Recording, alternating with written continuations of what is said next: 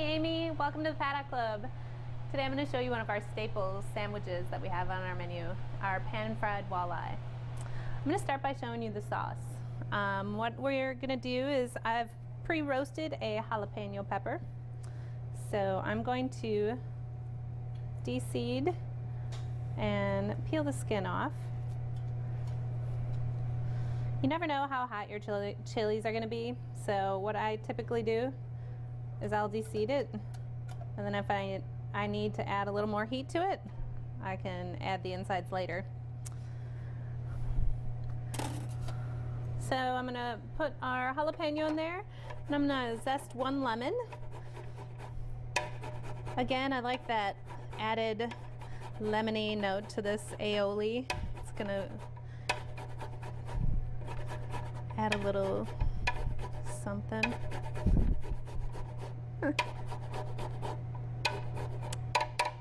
Excellent.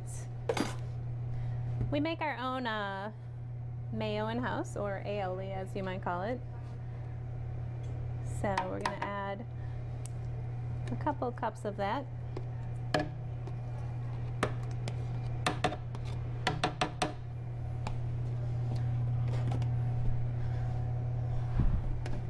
And then we're just going to blend this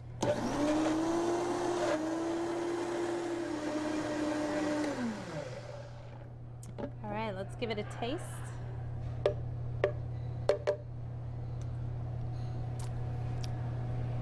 Oh, it's perfect.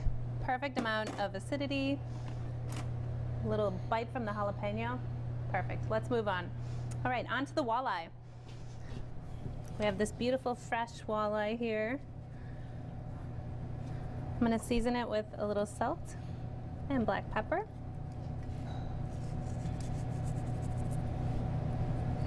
And then basically we're gonna give it a classic breading. I have some all-purpose flour here with a little cayenne pepper in it, salt and black pepper in there as well.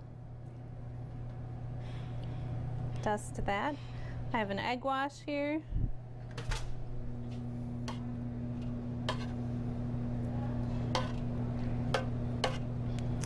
And then panko breadcrumbs.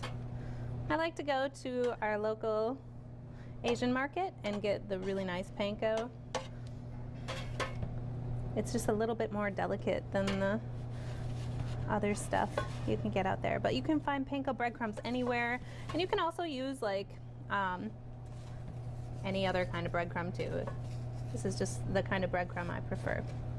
And then what we're going to do is we're going to pan fry this.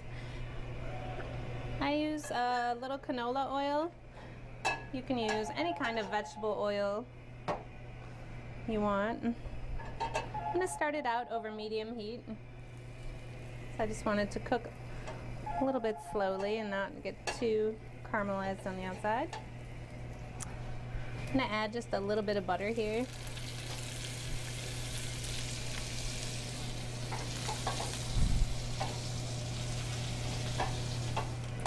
It is going to get a little more color in the oven. All right, so after I flip it, I'm just gonna put it right in the oven to finish.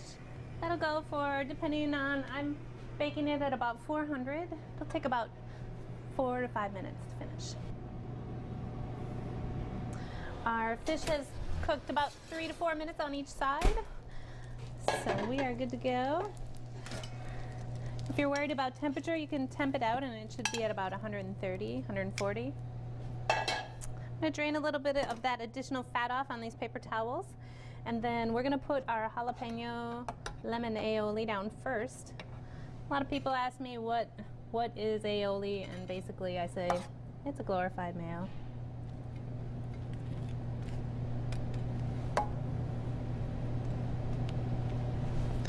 And uh, we're gonna dress it with a little arugula to add a little pepperiness.